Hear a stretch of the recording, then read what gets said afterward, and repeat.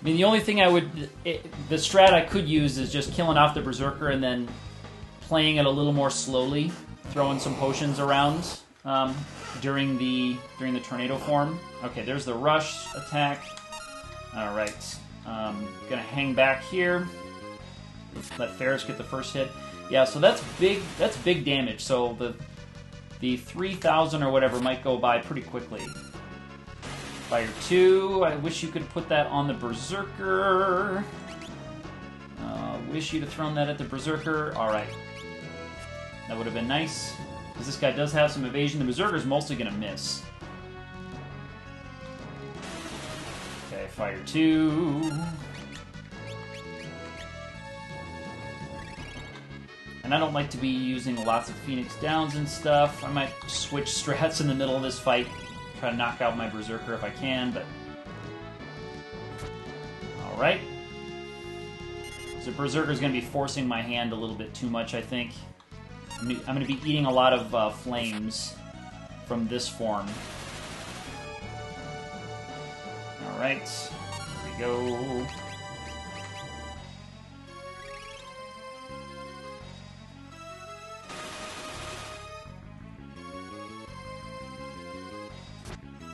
Okay, forcing my hand again. We're still not too bad. We're avoiding the um, the hand form, more or less. So that's been good news. I don't want to waste a high potion or elixir, because I really don't have to for this fight. I really don't have to. The only thing there, there's a big Berserker attack, man. Big Berserker attacks. Uh, this is gonna just about take out Faris, this flame incoming. She's gonna be very close.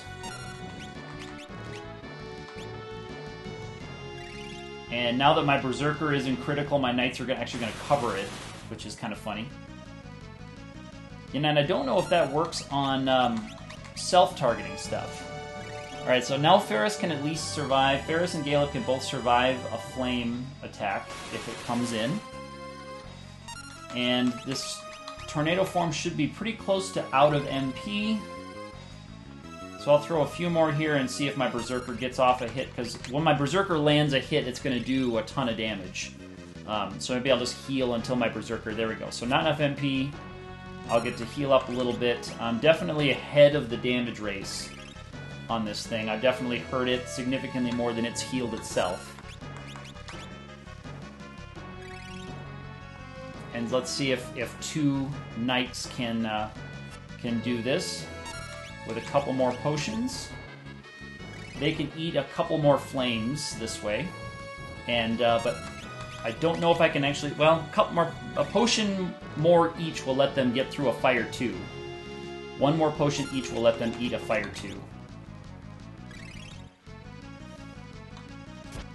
Okay, there's a big one from him. There's Magnet. Okay, so we have an incoming Fire 2. I have to hope that it targets the Berserker or Galuf. I don't think Faris can eat one.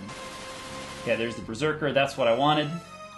Okay, and now Galuf needs to go after... Okay, good. No flame attack. Because he can't use flame just as part of his normal routine. And there it goes. Boom. Okay, so 6 AP for two of my knights. Very good. Uh, that's not the good drop. I think that's the like the fire scroll. I think that.